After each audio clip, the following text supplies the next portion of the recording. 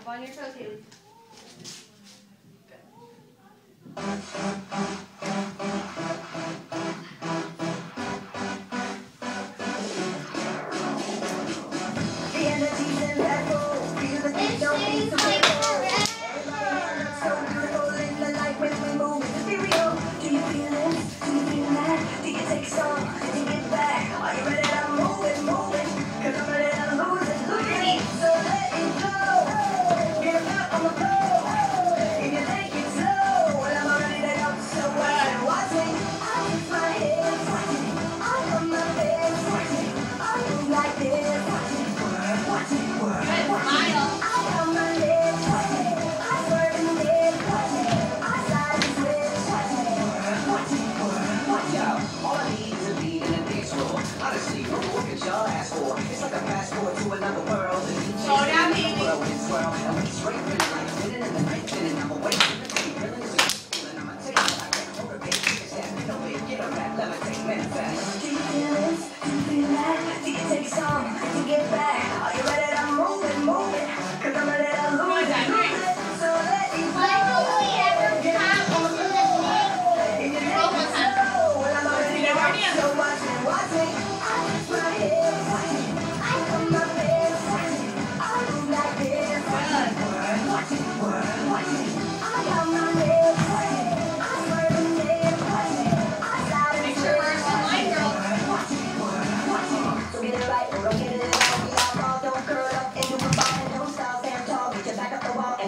Involved now. Grab it up by the hand and pull it like a rubber band. Back and forth like everybody is spontaneous, fucking instantaneous. Reach for the sky, now get some genius.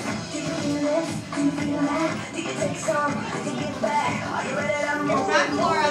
Dana, where's your foot? Lose it, so let it go. Get up Dave and Cassie, so slow, remember?